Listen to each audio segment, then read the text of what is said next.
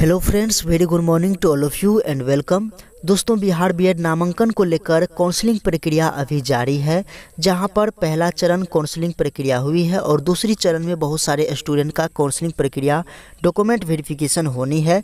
इसके बाद 28 नवंबर को जारी होगी छात्रों की सूची। अब ये 28 नवंबर को कौन सी सूची जारी होगी, वीडियो को पूरा देखिएगा। अगर आप काउंसलिंग प्रक्रिया में भाग लिए हैं या फिर आगे भाग लेने वाले हैं तो वीडियो को लास्ट तक ज़रूर देखिए। साथ ही साथ दूसरी मेधा सूची कब आएगी इसके बारे में भी हम आपको बताएँगे। तो चलिए शुरू करते हैं।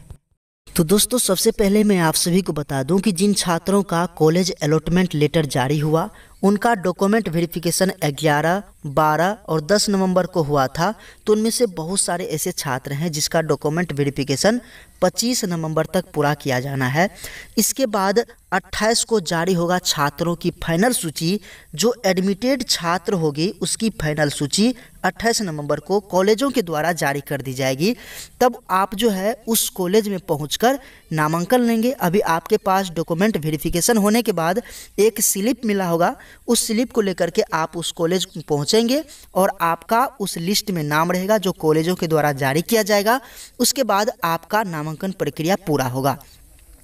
तब जो है फाइनल रूप से आप सभी को अपने वेबसाइट से, ऑफिशियल वेबसाइट से यूज़र आईडी और पासवर्ड डाल करके एक एडमिशन स्लिप बटन आप सभी का सक्रिय होगा। उसको नेक्स्ट करके आप सभी को एक रिसीविंग में मिल जाएगा वहाँ पर।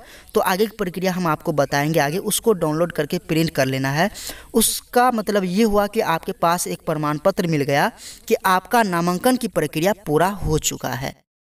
इसके बाद दूसरी मेधा सूची एक दिसंबर को जारी की जाएगी विश्वविद्यालय के द्वारा। इसके बाद आप सभी का काउंसलिंग दूसरी काउंसलिंग के लिए जो पेमेंट करना होगा, एक से लेकर के चार दिसंबर तक, जो कि आगे की प्रक्रिया हम आप सभी को बताते रहेंगे।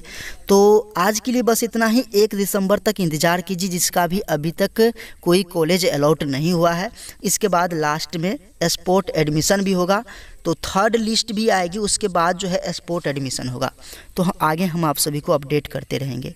तो 28 को जो सूची जारी होगी फाइनल सूची तो इसमें आप सभी को देखना होगा कि आपका इसमें नाम आया है या नहीं। वैसे जिनका डॉक्यूमेंट वेरिफिकेशन हो गया कन्फर्म उसका नाम आएगा और आप उस कॉलेज में पहुँच एडमिशन कन्फर्म करवाएँगे। तो आज के लिए बस इतना ही, मिलते हैं फिर से एक नए वीडियो में।